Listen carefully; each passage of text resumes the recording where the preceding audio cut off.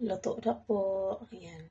Kukuha na, kukuha na ako ng ano. Luto na yung suman ko. Napaka-yummy.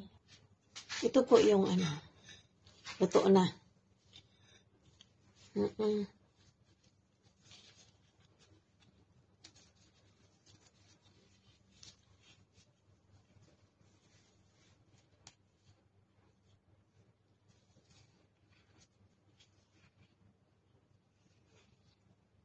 Yan. Lalagay natin sa pinggan. Sa plate.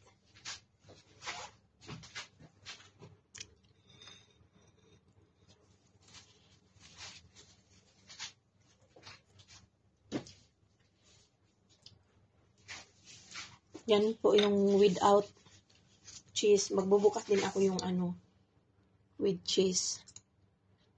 Para ipakita ko sa inyo. Hmm, sarap.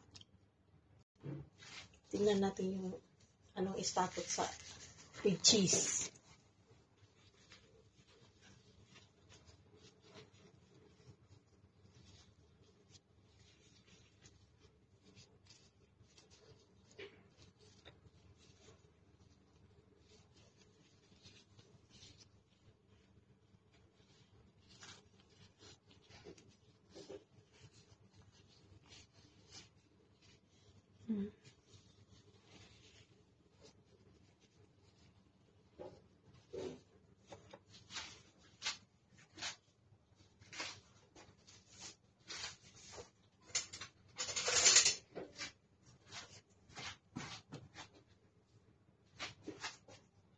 Ito yung walang cheese. Ito ang mayroon.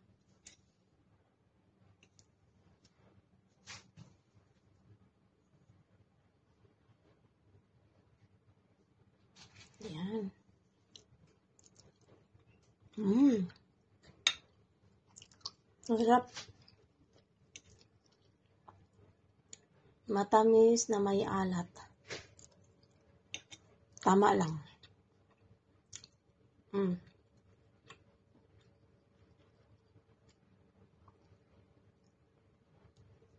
Kahit anong cheese ang ipalaman nyo, okay lang. Sarap.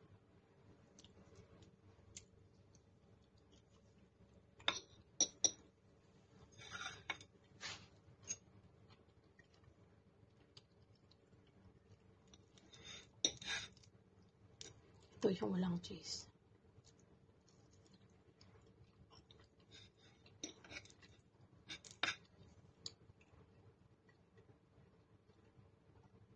Ito masyadong ano, masyadong sticky siya.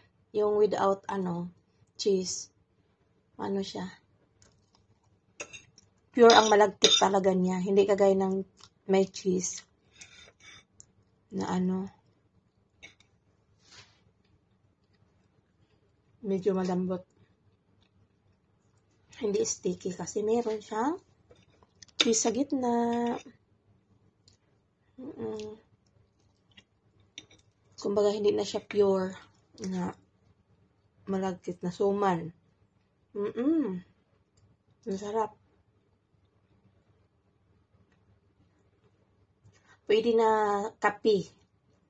Partner ang kape, tea, or milk, or luya. O ano-anong gusto nyong ano. Mm. Nakalaka, dalawa na akong suman. Lami.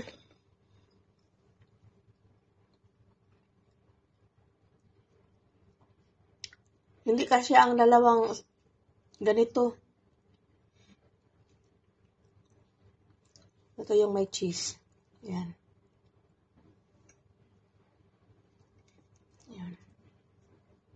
Ito na yung i-glance ko. Pananghalian. Mmm. Bumalinto. Cheesy. Yummy. Yan, tinanggal ko sa dahon. Tapos, di ba ano ako talaga, namimiss ko yung saging sa Pilipinas, yung dahon. Kinain ko yung dahon, pero hindi ko nilunok. Binilaan ko lang. Mm-mm. Mm, this is your Divine Jubing channel. Bye. Thank you, everyone.